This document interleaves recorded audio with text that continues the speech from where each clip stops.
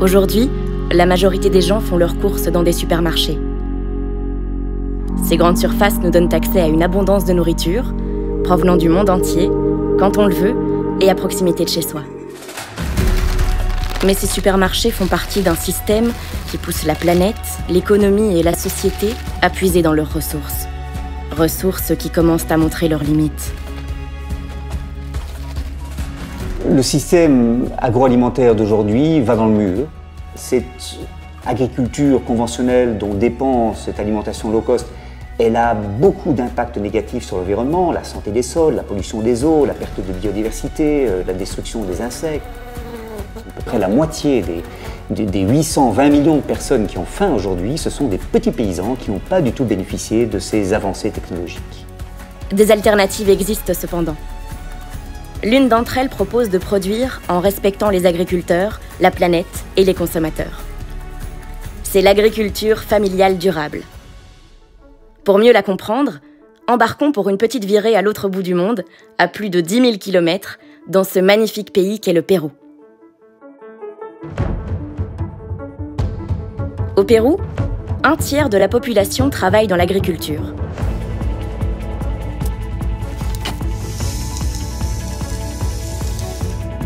Ce pays produit une grande variété de nourriture. On y trouve par exemple plus de 2500 variétés de pommes de terre. Sa grande richesse est due à la présence de trois écosystèmes. La côte, la forêt amazonienne et la montagne.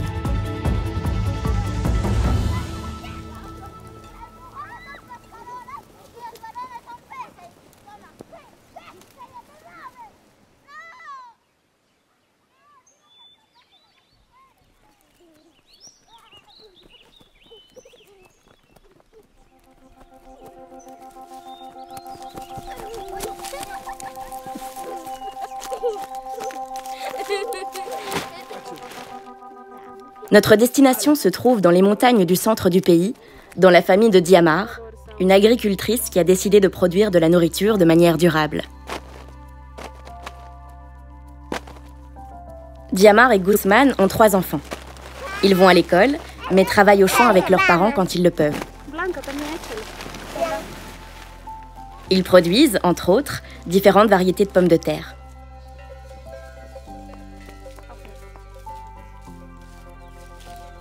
Les enfants remplissent les sacs, puis les adultes les chargent sur des mules qui les remontent jusqu'à la maison. Avec l'aide des ouvriers journaliers et parfois du voisinage, toute la famille s'entraide. D'ailleurs, cet après-midi, Guzman emmène son voisin au village un peu plus loin, car il a besoin d'outils. Diamar descend dans un de ses champs à 10 minutes à pied en contrebas.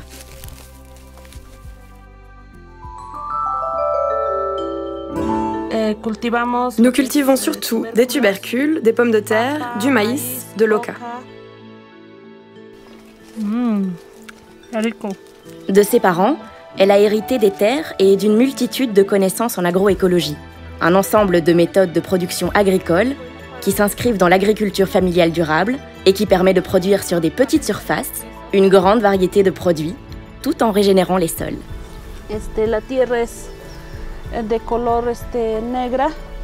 La terre est de couleur noire, plus ou moins. C'est une bonne terre de culture. Elle a les nutriments nécessaires pour la production de la pomme de terre.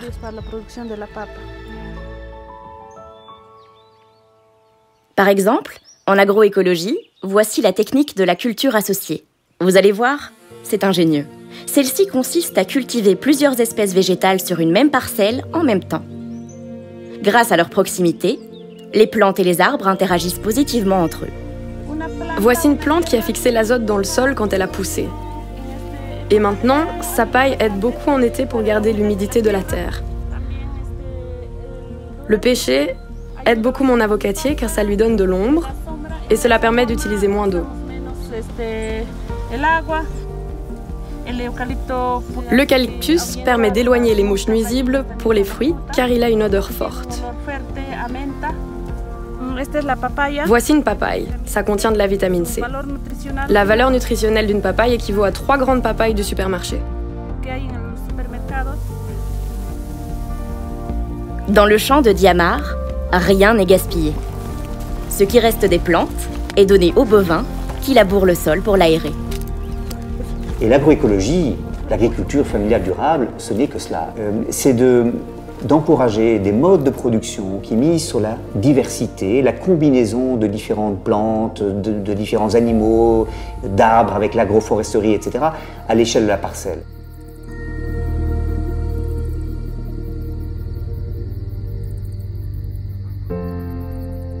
Mais tous les agriculteurs de la région n'utilisent pas ces pratiques durables.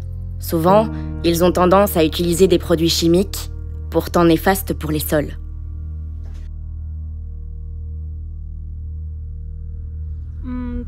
Eh, les fabricants de produits chimiques sont très insistants, car ils viennent convaincre les agriculteurs dans leur champ d'utiliser un produit déterminé, car ils disent que cela permet de lutter contre ceci ou cela, d'éliminer telle maladie ou tel champignon.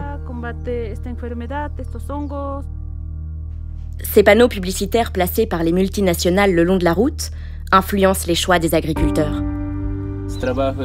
Le travail serait beaucoup plus compliqué sans les produits, car je devrais payer des ouvriers, tandis qu'avec les produits, je vais à la boutique, j'achète et je peux pulvériser. Ça solutionne n'importe quel problème. Nous ne travaillons pas avec des produits chimiques, car ces produits tuent la terre. Regarde la couleur de ta terre. Elle a l'air pauvre, cher voisin.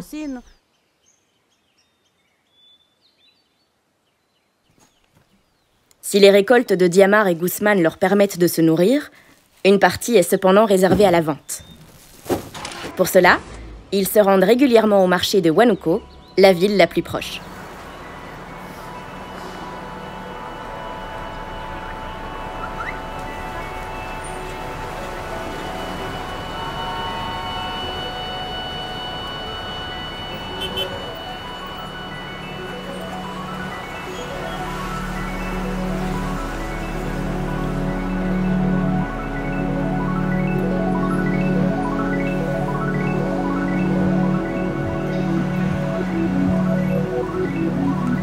À Huánuco, tous les samedis, les agriculteurs de la région arrivent par dizaines.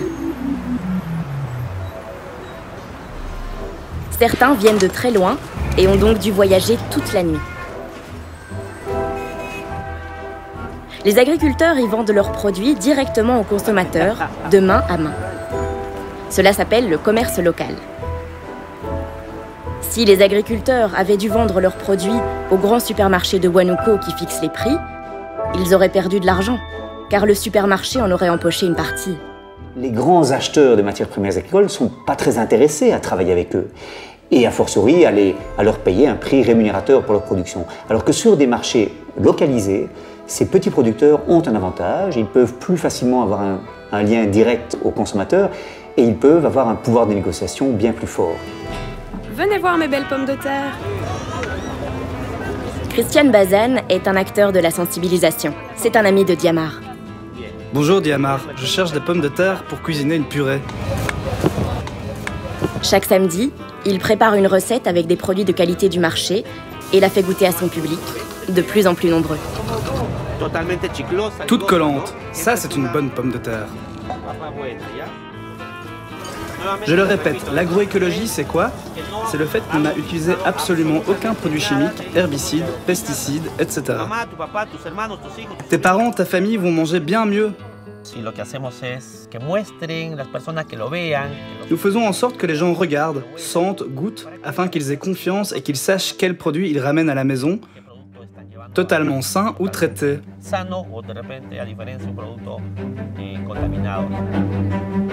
Au marché, il n'y a pas que des agriculteurs comme Diamar et Guzman qui produisent de façon durable.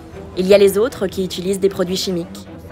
Pour que les clients comprennent la différence, Diamar a ce qu'on appelle un certificat de production agroécologique. C'est un système de garantie participative de qualité. Il regroupe des organisations d'agriculteurs qui unissent leurs efforts pour offrir aux consommateurs la garantie que leurs produits sont sains et durables. Il est construit sur une base de confiance et d'échange de connaissances. En leur proposant des formations et en appuyant la commercialisation de leurs produits, ces structures communes permettent aux paysans d'être plus forts. Dans ce marché, vous devez aller vers les producteurs et leur demander s'ils ont bien ce certificat, le SPG. C'est naturel, naturel, semé sans fertilisant, sans rien du tout. Ce n'est pas seulement pour moi, le consommateur, mais aussi pour que les producteurs reçoivent un prix juste.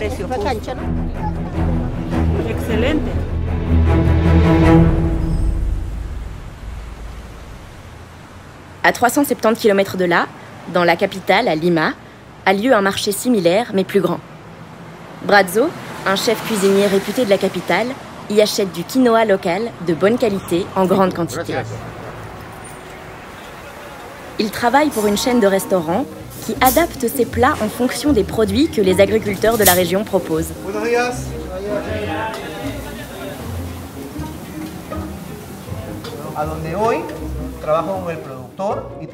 Là où je vais, je travaille avec le producteur et avec les produits que l'on trouve sur place. Je vais donc profiter du produit Kilia et travailler avec le produit Kilia.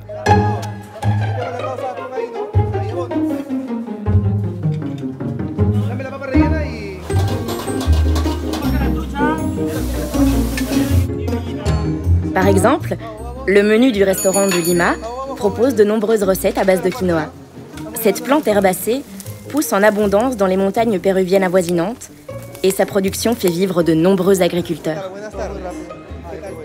Les clients aiment savoir d'où viennent les produits qu'ils mangent. Je viens chez Tanta, premièrement parce que la nourriture péruvienne est délicieuse et Tanta la fait très bien. J'ai donc le sentiment de manger de la vraie nourriture péruvienne.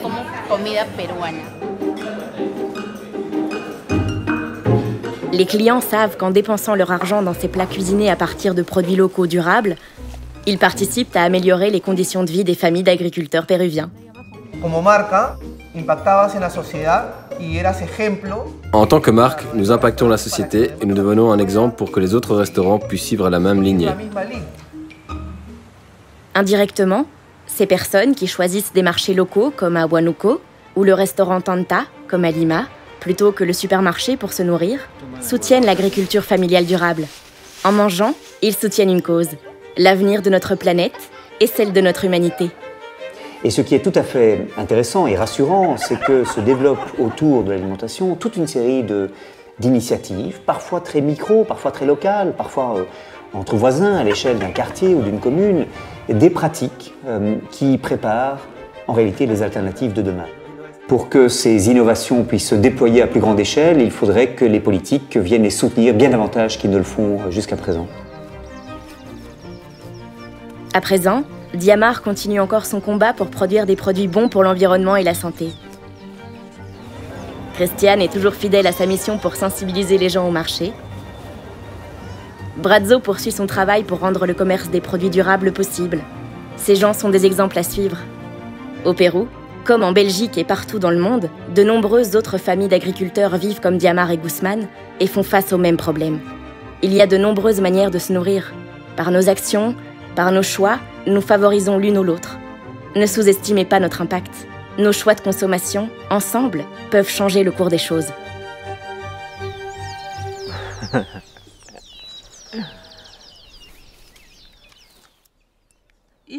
Wau kikim